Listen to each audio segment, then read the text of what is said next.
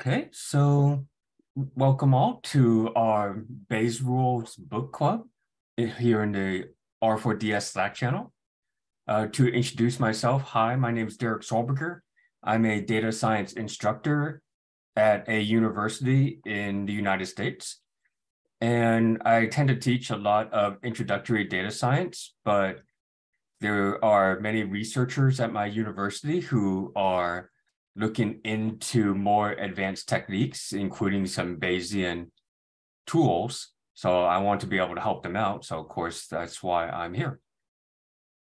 In whatever way you feel comfortable, either coming um, on the microphone or the chat, um, can you introduce yourself? Maybe starting with Louisa. Hi, uh, I am also uh, a data science instructor at a university in the US. Uh, I work in an economics lab, uh, and my boss is actually a Bayesian statistician, so that, that we use a lot of um, Bayesian methods. So I want to learn more about it and be able to follow more the conversation. Thank you. And Kaustav? Yeah, sure. Hi, hi, hi both. Um, Kaustav. Um, I work as an actuary in a consulting firm based out of London. Uh, and I'm just starting my journey into Bayesian statistics, uh, more from like trying to see if I can apply those concepts in the work that I'm currently doing. Um, in terms of background, um, I did my bachelor's in statistics. So um, there is more focus on like the frequentist methods. So yeah, just looking here, looking joining this book club to expand my knowledge of Bayesian statistics. Hey, thank you. Nice to meet you both. Um, we'll go ahead and get started here. For convenience, I'm going to toss some links into the chat. We have uh, the textbook is freely available online. Here in the R4DS Slack channels, uh, previous cohorts have made a mostly complete set of notes for this textbook that we could be following here during this book club. And before I forget, here is the lecture schedule. These links are also pinned to the top of the Slack channel. So um, in, in general, for the Zoom stuff, uh, feel free to have your camera on, camera off, whatever is more comfortable for you for the most part, we'll be reading through the cohort notes that have been prepared. But in general, if you want to emphasize anything, just feel free to reach out to me or other folks in, in the Slack channel. Okay, so welcome to the book club. This is a companion for the book written by professors Alicia Johnson, Miles Ott, and Mine Dogucu.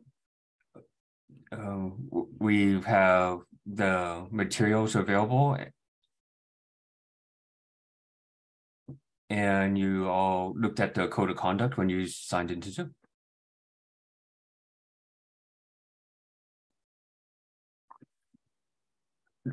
Uh, for those of you new to these book clubs, each week a volunteer will present a chapter uh, from the book or part of a chapter.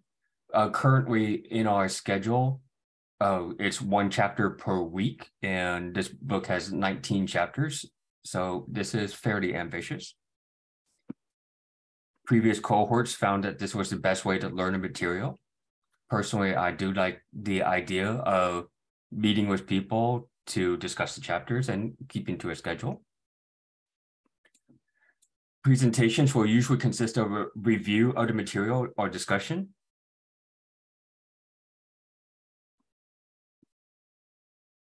we saw the schedule and these sessions, as you saw when you logged in, are being recorded.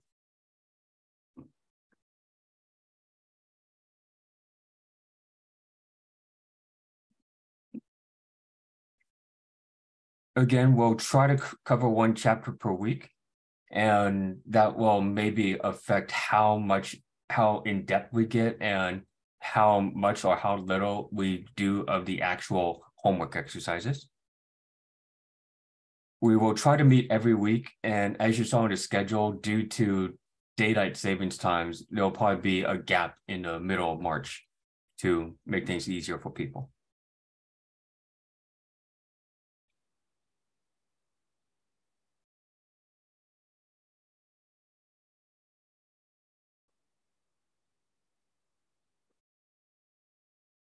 Okay, so Bayesian statistics, why we're here. We have heard that there are at least two main philosophies or trains of thought in the world of statistics, frequentists and Bayesians. They both want to solve problems. They both want to learn from the data.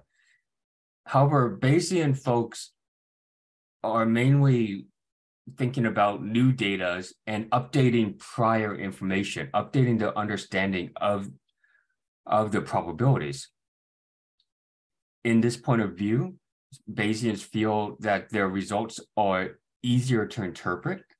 And there are situations where the Bayesian analyses work better than in some situations where the frequentist notions might fail. Bayesian statistics, of course, dates back to Sir Thomas Bayes back in the mid 1700s, I believe. But the concepts were not as popular, uh, partly because the computational tools were not available until the mid 1900s. And the computational tools make things more accessible now, such as the Monte Carlo uh, methods, Monte Carlo Markov chain methods that we'll be studying in a few chapters.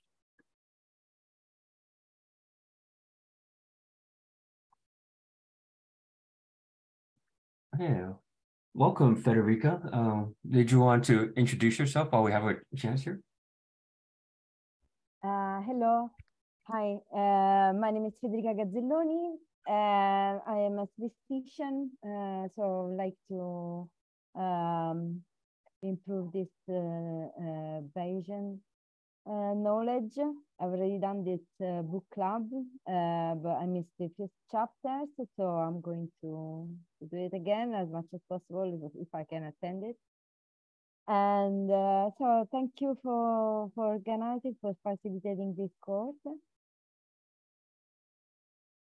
All right, thank you. Mm -hmm.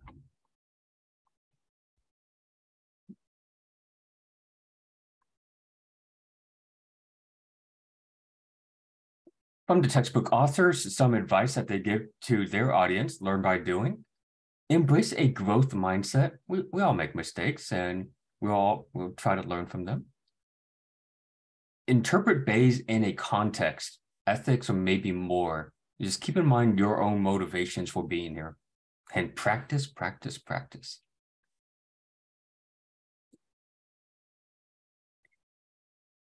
Uh, as we're in between the sessions, you probably want to practice through some of the exercises in the textbook, etc.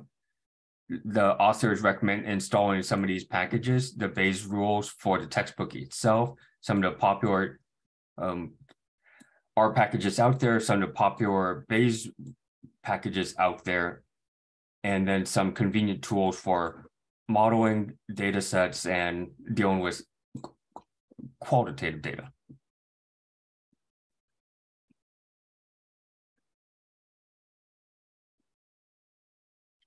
The authors themselves we mentioned, um, if you're on Twitter, these are great people to follow.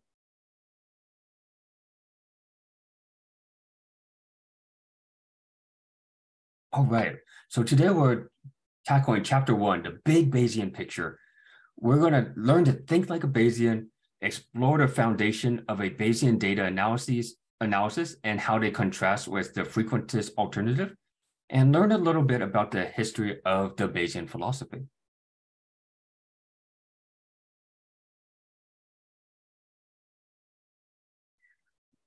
I'm going to say the words um, thanking the previous cohorts for making these notes. And if I forget to say those words, it's I'm meant to that to be implied.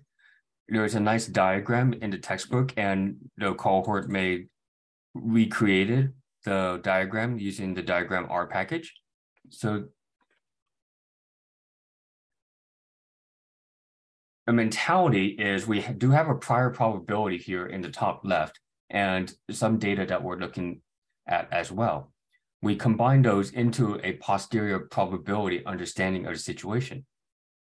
Now, in a Bayesian mindset, whenever we get new data, we might have to update our prior, our posterior probability. And it's this updating notion that is quite attractive and, and interesting in this field. But of course, we also have to consider the computational matters and how it might affect our later interpretations. Nevertheless, both Bayesian and frequentists share a common goal to learn from the data about the world around us. Both use data to fit models make predictions and evaluate hypotheses.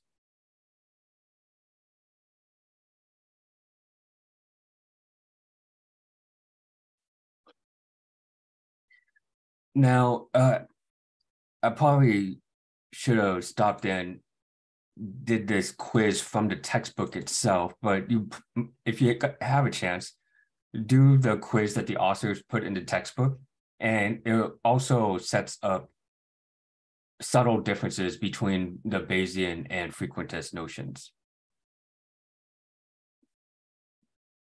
We might clean this section up in the future.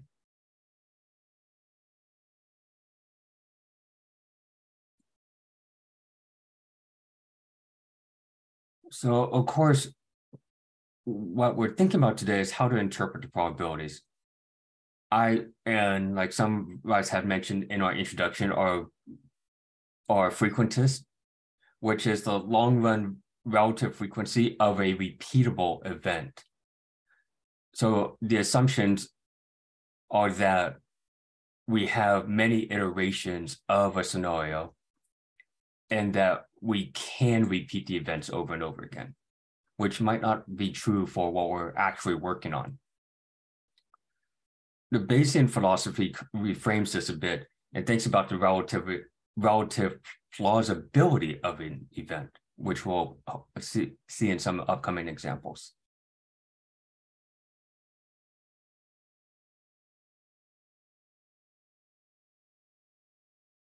In general, for the folks in the audience, if you have any questions, feel free to use the Zoom chat or just let me know otherwise.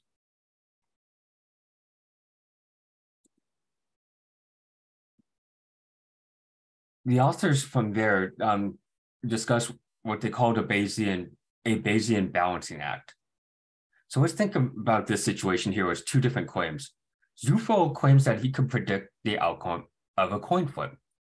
Kava claims that she can distinguish between natural and artificial sweeteners. If both succeed at a 10 per, out of 10 success rate, what could we conclude from this?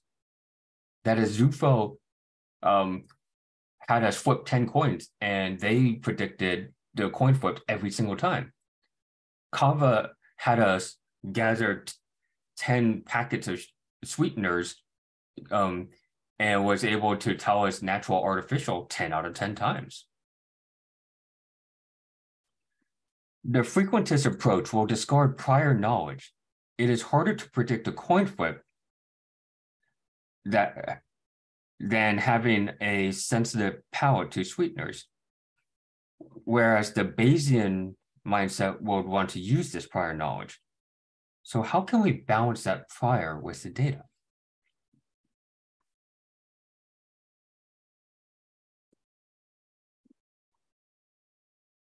So let's start by just asking us, sorry. So th that's some of the mindsets that uh, were presented in the chapter here. Let's think about a different situation. If you're at a doctor's office and unfortunately have some negative or bad news to hear, the next question you you might ask your doctor is, what's the chance I actually have the disease versus, okay, if I don't have the disease, what is the chance I would have gotten this positive test? In the contingency table or drug testing mentality, this is asking kind of of a true positive versus a false positive. A previous cohort uh, replicated the table using the kable package, and this is what we're looking at here. So um, amongst those with the disease, one tested negative, three tested positive. So four people with the disease. Amongst those free of the disease, 87 tested negative, but nine tested positive. So 96 people without the disease. Uh, conveniently in this scenario, having 100 people total. So these are numbers are also percentages. Now, for the first question, what is the chance I actually have the disease? What they what we're looking at is the folks who tested positive. So we already know that positive test is there in this mindset. And the chance you have the disease is this three over the 12 total. Now, in the second question, what's the chance that I would have gotten this positive result if I did not have the disease? We're looking across this row here, focusing on the 96 that do not have the disease, and nine of those tested positive. So we have a nine over 96 probability in that mindset we observe that these two conditional probabilities give us two different answers.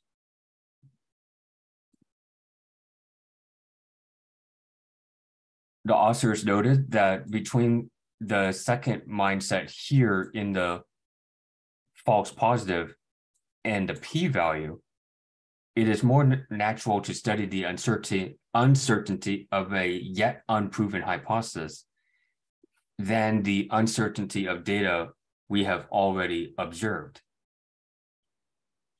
So that kind of gets us into the motivations of why scientists are thinking about Bayesian statistics, because the frequentists do have these assumptions going on in the background, and the Bayesians have these motivations here.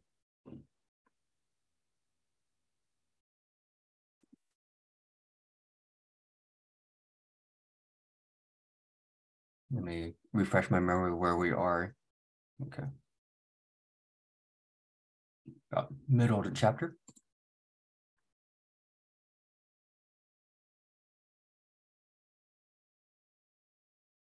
I do appreciate a bit of statistics history.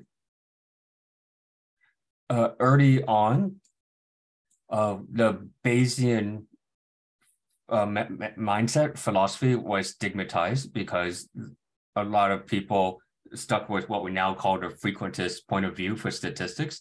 And it was maybe working fairly well in the 1800s.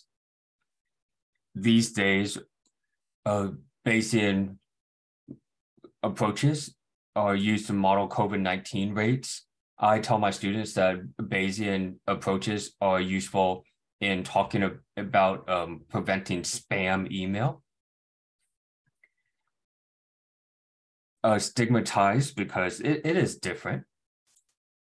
And as we mentioned before, this the Bayesian stuff became much more popular maybe about 70 years ago and in the decades since.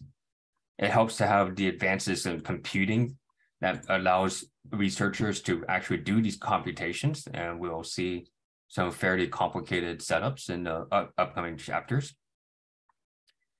It's a departure from tradition what people learn is what people use. And you probably or could see in a textbook, one of the uh, bigger stories about this was there was a famous statistics problem based on the Monty Hall uh, game show. And in, in the mid maybe 1950s, the game show ran, and Marilyn Vos Savant solved a problem in the early 1990s. However, uh, their approaches um, felt different than what many statistics professors understood at the time. So it was a bit contra controversial. And then there's the reevaluation of subjectivity. We are claiming, or the authors are claiming, that the frequentist notions are also subjective, and subjectivity is not any more of a dirty word.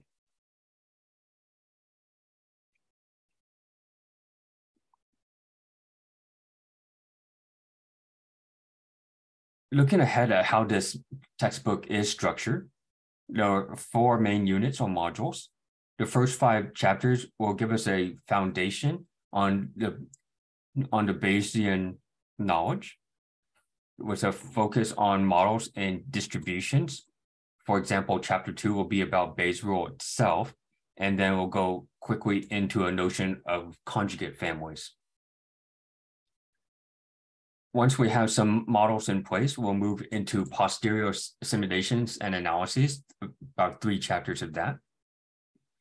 When the conjugate is not an option, then we might have techniques such as Monte Carlo Markov chains. Of course, we are here to try to solve tasks. If we're looking for quantitative res results in the response variables or qualitative results, we have regression and classification. So that will be focused on extending our notions of the response variable and predictor variables. And finally, if time permits, as we go into the summer, we might have some nice um, constructions of our analyses with hierarchical Bayesian models to harness group data.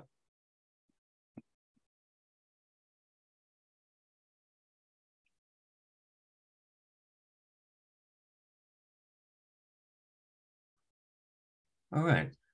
So the summary of the chapter, we are going to be focused on building posterior knowledge, which is the balancing of information from data and prior knowledge.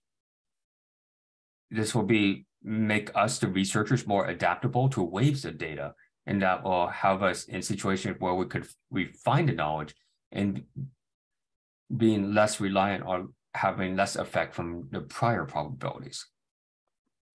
And with more and more data, two analysts will converge on the same posterior knowledge.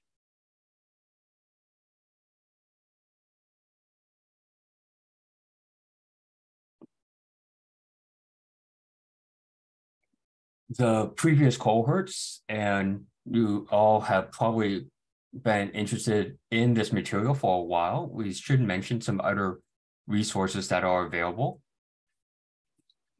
Richard McElreath wrote a famous textbook called Statistical Rethinking. Materials are online, and McElreath him, himself has made videos for his book for his classes, and those are available online. There's a nice uh, book by John Kruschke, Doing Bayesian Analysis Bayesian and Data Analysis. Introduction to Bayesian Thinking by Clyde, Setankaya Rundell, and others. Bayesian Data Analysis by Gelman. Intro into the Bayes Theorem, Rather Rath, a nice video that was recommended as well. In case you're interested in drawing diagrams like you've seen before, sometimes um, called a directed acyclic graphs. We saw an example using the DiagrammeR package, which in turn uses graphviz as mermaid, mermaid. And later on, if we're thinking about causality, we might look into DAGitty as well. And believe it or not, there is a podcast, Learning Bayesian Statistics, with episode 42 in particular features one of the one of this textbook's authors, Mine Dogucu. These meetings are being recorded and the videos will be available as well. So that brings us to the end of the first chapter. How are we doing? Are there any questions, sir?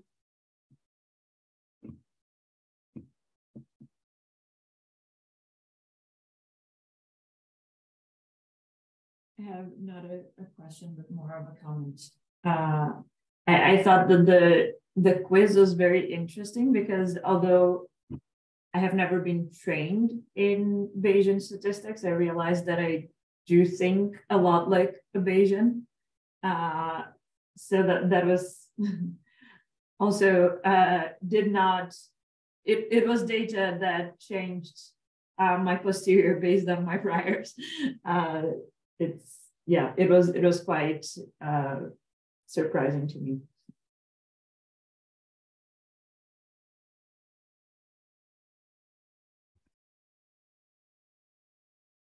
Yes, uh, thank you for that. I tend to think a, a lot about sports, and I taught a sports analytics class last term. And the way I think about it, maybe this is naive, is that if you're trying to predict how well a sports team would do, you might actually want to think about how well the sports team did maybe in the past two weeks whereas the frequentist approach might only use the prediction or data supplied at the beginning of the season, at the beginning of a year. And the latter might not feel as accurate.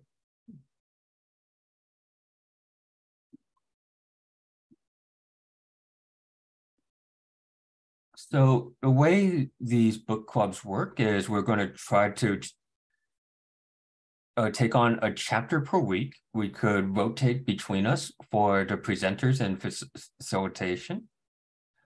Of the website that we are using has these slides available for most chapters thanks to previous cohorts, though we are missing some in the middle due to some previous scheduling concerns that they've had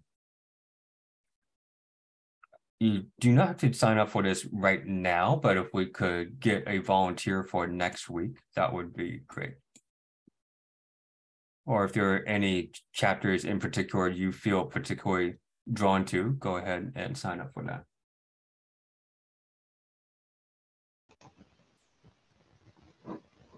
Yeah, I don't mind presenting the next chapter. That's uh, fine with me.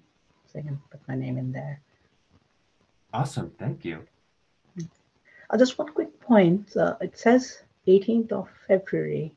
Is is that right, or should it be 19th instead? Yeah, it also says uh, 11. Yeah, 11, right. Uh, oh, good point. Um, yeah, briefly, this group was scheduled for a Saturday and got rescheduled. Oh, right. So yes, you are correct. I'll I'll need to update those. Cool. But these are definitely Sundays. Perfect. Thanks.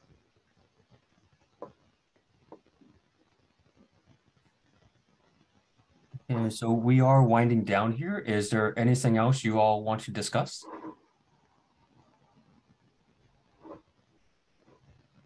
Hmm, not at the moment. Okay, so it was nice to meet you all. Um, ha have a good week, and we'll come back together next week to look at Bayes rule itself. Yes, thanks. Bye bye.